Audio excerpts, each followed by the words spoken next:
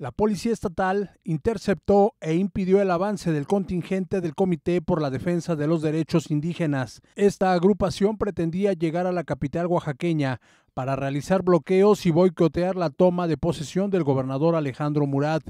El operativo policial se realizó en Barranca Larga, Ejutla de Crespo, donde es prácticamente imposible la circulación en la carretera Aguatulco. En el 2014, en la ciudad de Oaxaca aparecieron mantas y lonas con el rostro de Abraham Martínez, líder de la CODEDI, luego de que esa organización realizó bloqueos y afectó actividades del comercio establecido. En el 2015, Abraham Martínez fue detenido con dos personas más, acusados de emboscar a policías y causar la muerte de uno de ellos y heridas a cinco más, con información de MBM Televisión.